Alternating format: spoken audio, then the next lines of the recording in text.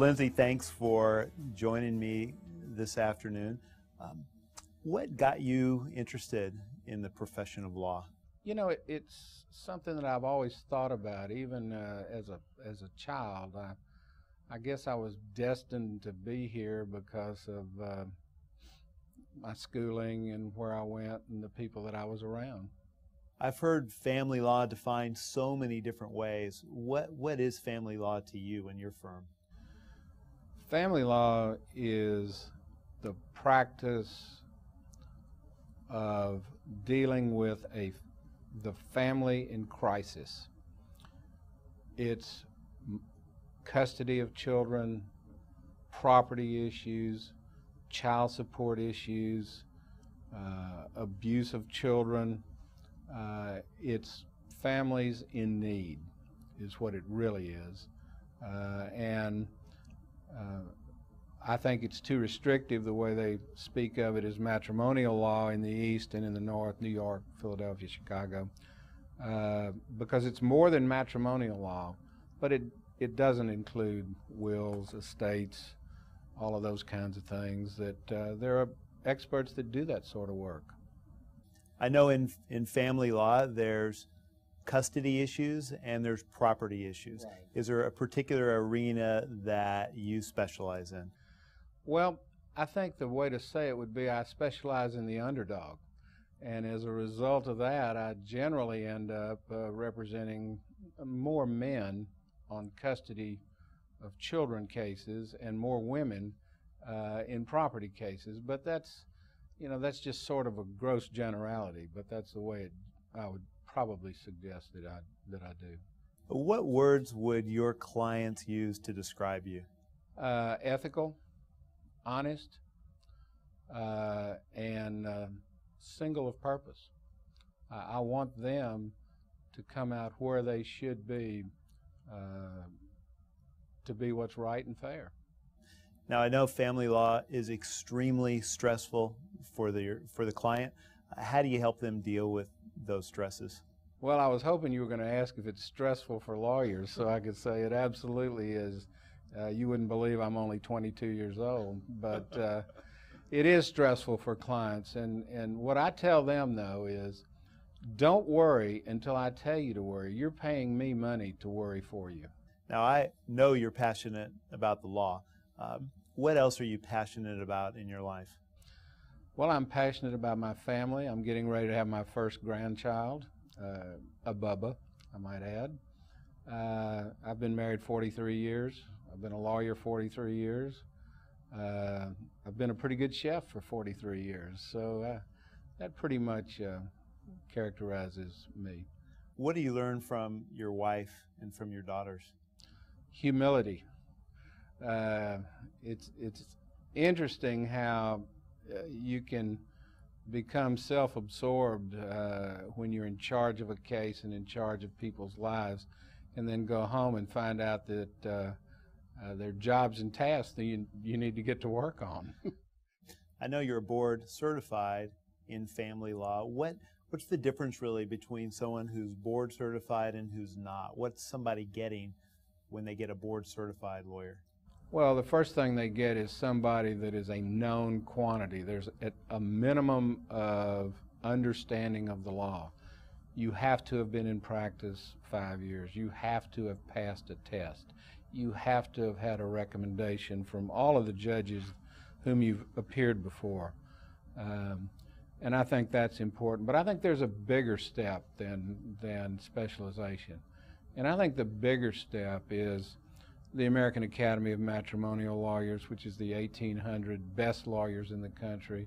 And then there's a step above that, uh, which is the American College of Family Trial Lawyers. There's a hundred in the world, and there'll never be over a hundred. Uh, and I think that's the most, that's what people should look for if they really are looking for people at the very top of the profession. I know an attorney can't build a practice by himself. So tell me about the team that you've put together uh, and how they benefit you and your clients. I'm proud of this team.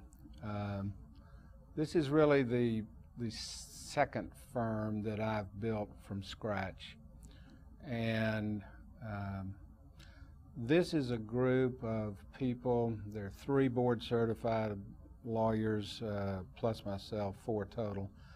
Uh, but this is the best and the brightest of the young people practicing law that I know.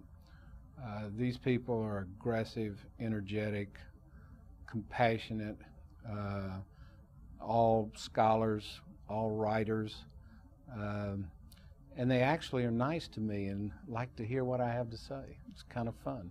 You know, I want to go back and ask you was there an impact moment for you in your life where the lights went off and said, boom, family law is for me? Yeah, there really was. Uh, 1972 3 in that area. Uh, I was representing uh, some developers here in town, uh, major grocery chain, oil and gas companies, um, doing a lot of what I now call floppy disk law. And um, a, a fellow that I, I, had a lot of respect for came up to me and said, You know, you're really wasting your time uh, dealing with, with oil and gas and real estate exclusively. You need to deal with people. And people are family law. And family law is really dividing real estate, oil and gas, company assets, which was something I did. So from there, it was a step to, I, I, I, figured, you know, this makes sense to me. But then I decided I needed to develop trial skills to go with that. And so it's been a process and a period. And now I've probably tried certainly almost as many jury trials as, as any of the people that practice family law um, in this area, in this state, certainly in the country. And I know that unfortunately you probably don't get to win them all. So what do you what do you learn about yourself when you um, lose a case or don't get what you really want to get? What's interesting about losing a case, uh, uh, that's a function of degrees unless you're talking about uh, child custody. Child custody, that kid's going out, getting in the car, and going home with somebody. There's a winner and a loser there. And generally, it's the family and the child that are the loser too because they've been through that. But with property, it's, I think a win is beating the last offer. Uh, a loss is not beating it. Uh, and what I really think a loss is, is if you haven't evaluated the case accurately and completely. And that's the one thing you want to try to avoid. Uh, there can be unreasonable people that require a case to go to trial. Uh, but if the lawyer is sharp and if I'm sharp, uh, I'll have us within the area of reasonableness to avoid those things. Why do other lawyers refer cases to you? A number of reasons, I think. One is if they're referring and are not family lawyers uh, and aren't just in over their heads, they know that they'll get the client back. I'm not going to try to take the client and draw some wills and create a corporation and do a partnership. I'm, they're going back. The client's going back to the referring person. And the other thing is, uh, I thank folks. I let them know that, you know, without them, I wouldn't be whatever it is that I am. And the final thing is results. This is 43 years of history, uh, and that's what they're referring to. First, in your professional life, and then secondly, personally, how do you want to be remembered? When I said something, it was the truth. My word was was it.